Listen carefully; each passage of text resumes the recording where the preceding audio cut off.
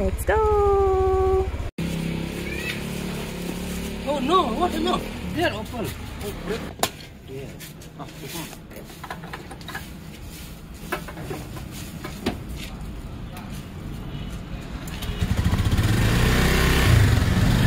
あすごい。これ入れたらメーターが減ってくんだ。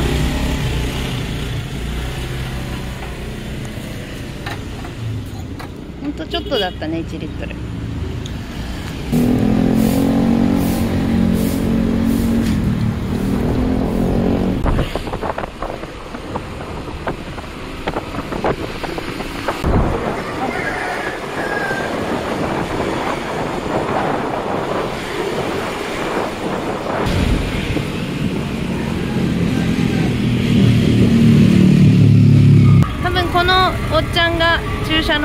案内してくれるんじゃないかな。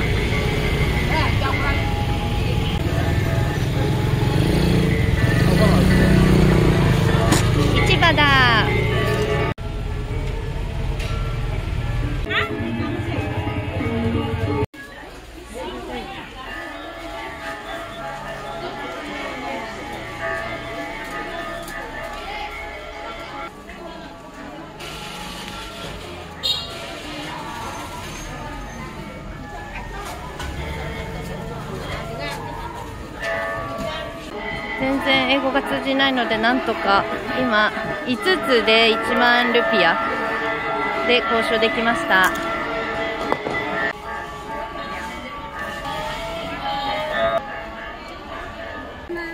Hmm, cek ya. Nak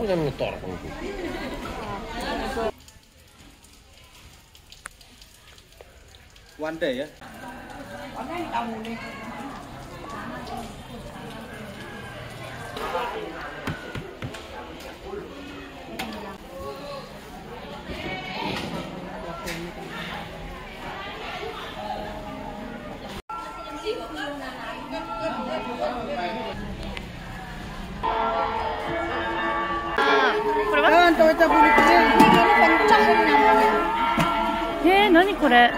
もうほとんど終わってる。あいに.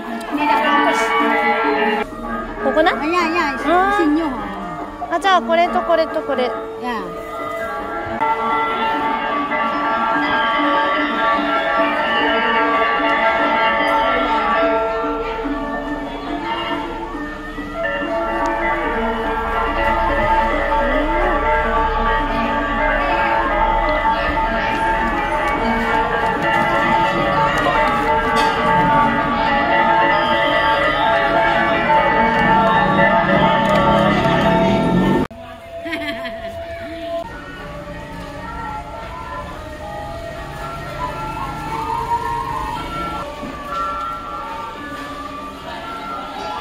リマリブです.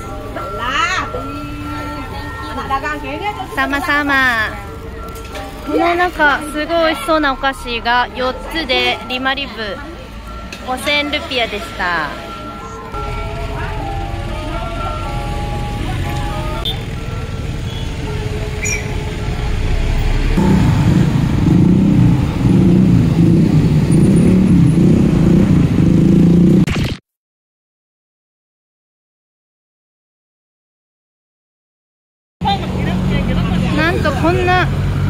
途中で豚を解体してたので解体っていうか今内臓を出してる。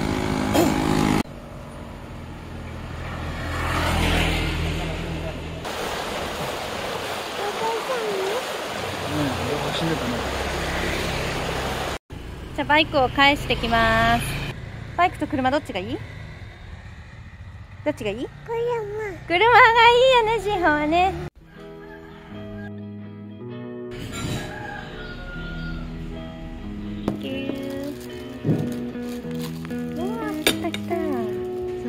ツも来ました。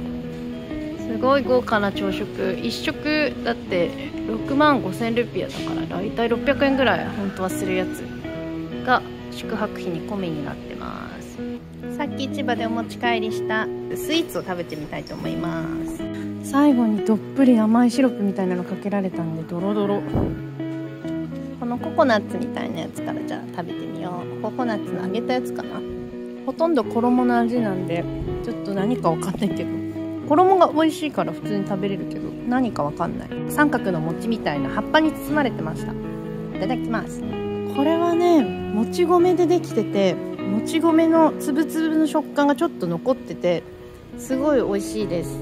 バナナのフライは安定の美味しさ。ごちそうさまでした。よしじゃあ今日もご飯を食べた後はチェックアウト時間ギリギリまでプール入って出かけましょう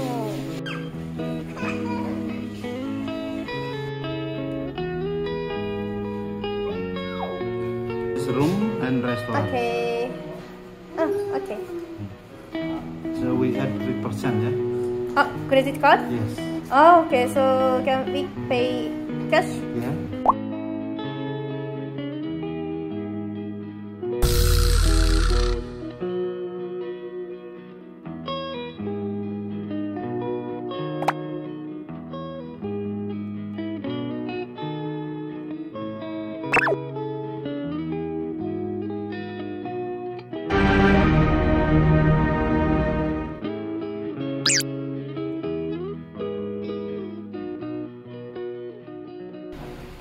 来てくれました。でもなんかね宿のおじちゃんじゃないね。お兄さんが来てくれたのかな。すごい。なんかすごいボンボンミュージックと。すごいじゃない。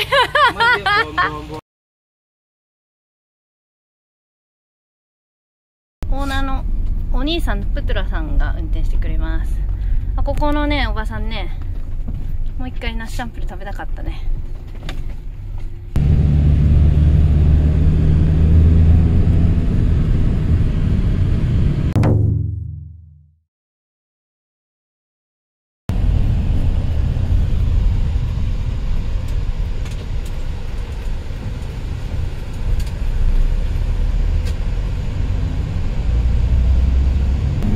ひたすら坂を登ってます結構登ってる、ね、すごい標高高いところまで来た気がする着きました。すでにアグン山の山頂が見えます。ラハンガンスイートというところに来ました。じゃあここで入場料多分払います。あすごい。あのなんか欧米人のカップルはバイクで2人で来たのかな。すっごい上り坂だったけど。よく来れたな2人で。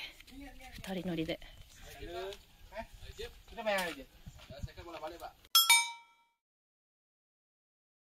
この先の道は道の状態が良くないらしくってこの.すごい車じゃないといけないんだ.あ、あ、オッケー。じゃあ今ジープが来るからそれに乗るんだって。さあ、ジープが来ましたので乗りましょう。うわあ、これはすごい道だね。未舗装の道を。Sing. Kita sing di mana Ini sih kan memang dalam. Ayolah. You enjoy な。そのガイドさんも初めて行くのか、すごい楽しんでる。いいね、なんかバリ島のガイドはね、みんなもう当たり前のように全然入場料払わないで通してもらえて羨ましいです。着いた。Oke.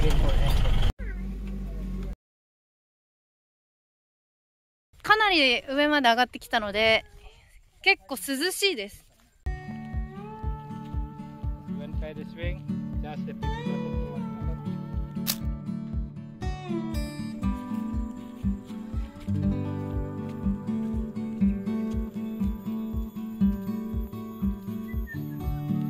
わあすごい。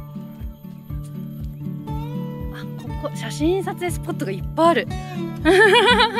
結構ちょこちょこ人はいる。さっきの中国同じ車に乗ってた中国人の女の子がここで撮影してもらってますね。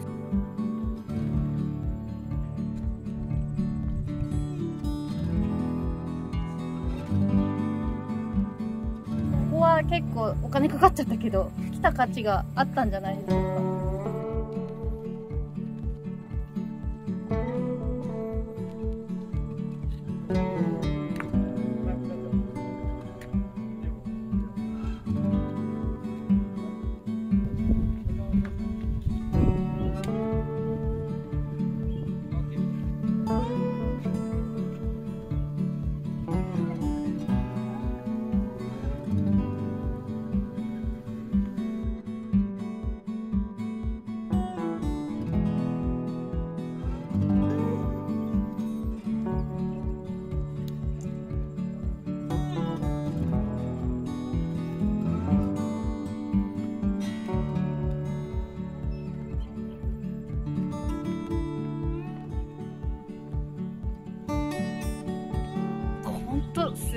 絶景スポットだね。ここはねまだそんなに人がいない場所なのかなと思うけど絶対人気スポットになるわ。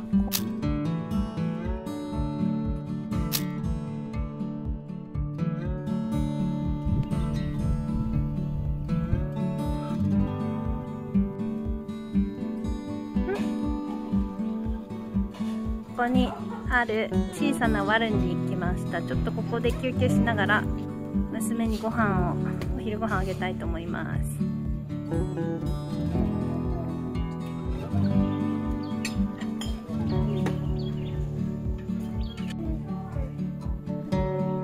ご飯もねそんな高くないね。フルーツラッシー。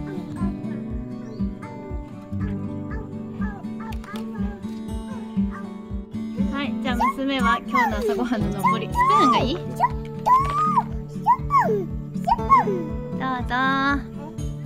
で私の頼んだインスタントのアイスコーヒー。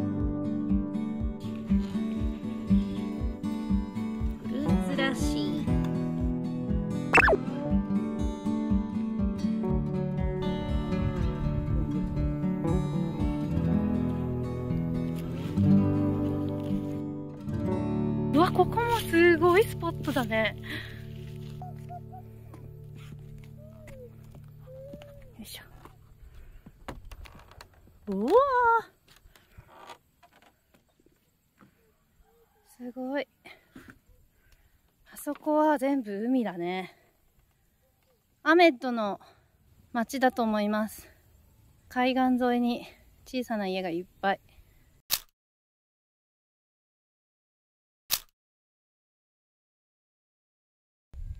ここはこんな感じで写真が撮れるスポットがあります。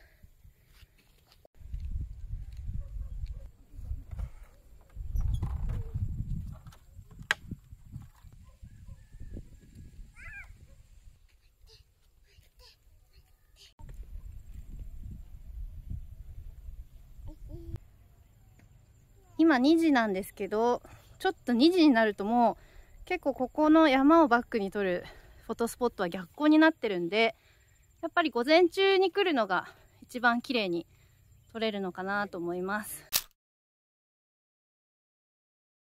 一人で来ても、あのー写真を撮ってくれる方がいてこの人に多分お金を払うと撮ってくれます What time is the best timing to take photo here? Sunset. Sunset?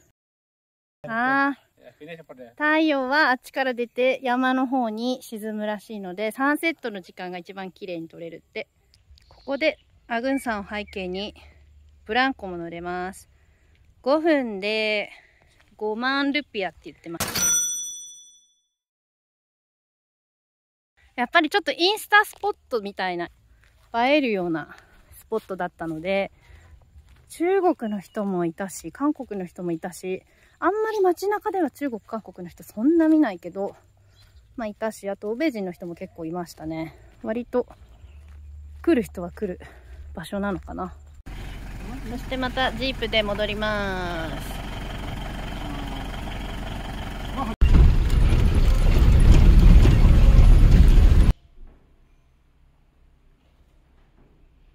この旅で初めて見た昔ながらのスタイル。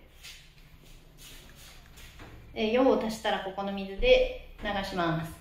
多分ここの あの食堂の人はここでシャワーシャワーっていうか水浴びしたり歯磨きとかもしてるんじゃないかな。はいじゃあ出発します。楽しかったね。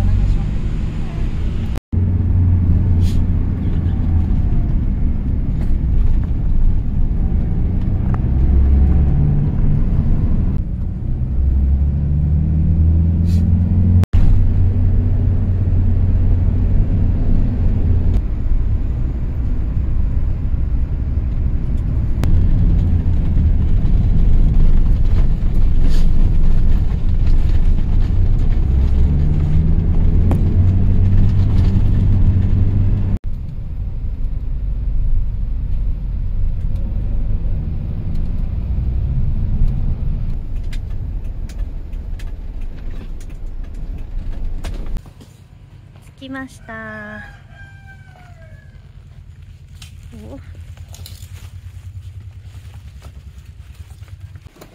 あプールがある。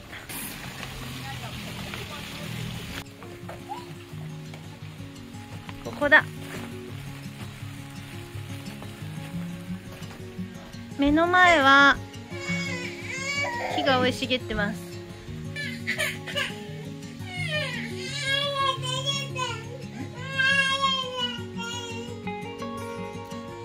屋はただベッドが置いてあるだけの結構シンプルなものです。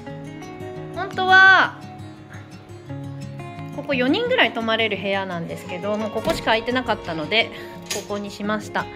で本当はもうバリに来る前に日本にいる間にもう一応旅行の日程を決めててアメッドに到着したのが夜だったんでもう1泊したいなと思ってそれでちょっとアメッドを1日多めにとってあとは全部1日ずつずらすっていう感じの旅行の日程になっちゃったんでシドメンの宿が日程変更できなくてキャンセルしてここを数日前に予約しました。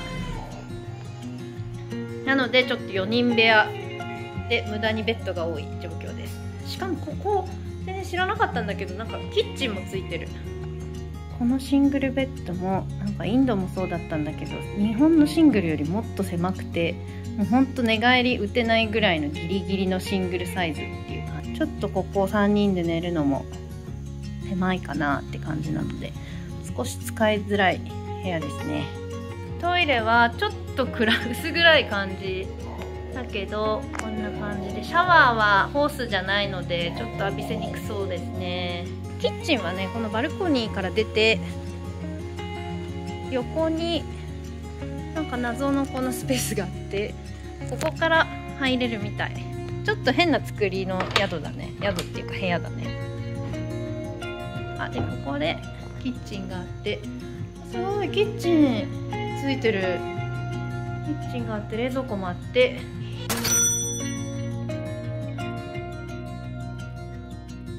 あ Thank you. 全部荷物持ってきてくれました。で今ドラゴンフルーツとバナナのジュースがウェルカムドリンクで出てきました。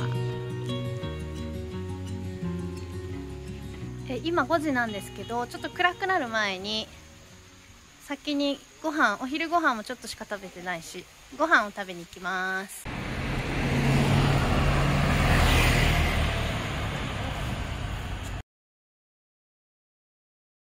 どこのお家もなんか夕日に照らされて素敵な雰囲気。なんか道が広くて歩きやすいし交通量もアメートの中心より全然ないしのどかでいい村町って感じです。あれあ軍山かな？すごい山が綺麗です。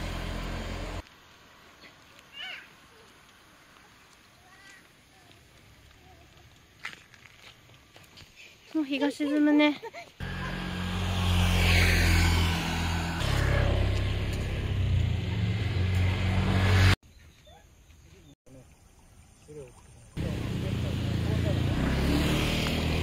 なんかほんと今までいた街とは全然雰囲気が違って緑緑してるちょっとジャングル感がある。なんかもうこの村全体でちょっとしたリゾートなんですかっていうぐらい全部のエリアが絵になってる。心が現れるような景色がずっと続いてる。すごいね。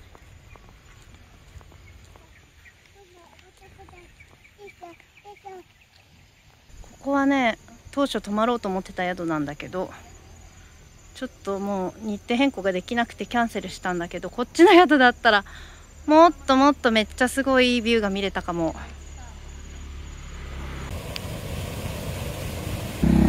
今日の夜ご飯はここで食べます。おしゃれなレストランだね。すごい。ここおじさんが演奏付きです。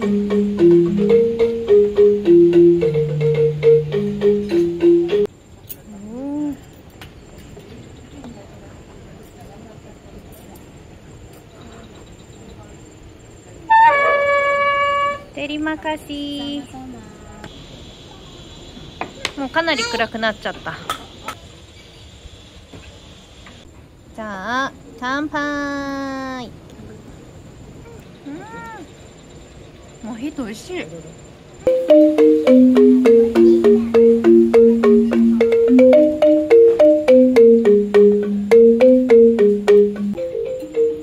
アボカドエビサラダ